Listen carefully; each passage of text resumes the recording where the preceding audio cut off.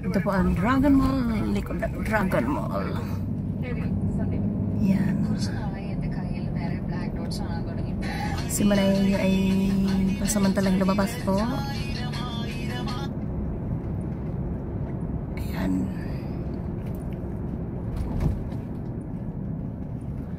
At may buwan po doon, oh. Yan po ang tinatawag na Dragon Mall or haba-haba ng mall na yan.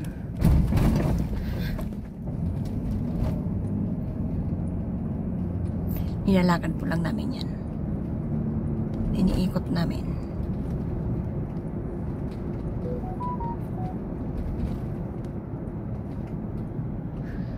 Bumalik lang ako ng safari, may inayos lang po ako. Kaya nasa biyahe ako ngayon. Pero pauwi na po. Pauwi na po si Manay. At ayan po, ayan po na ang aming bahay. Yan. Yan. Paikot na at papasok na. Oops.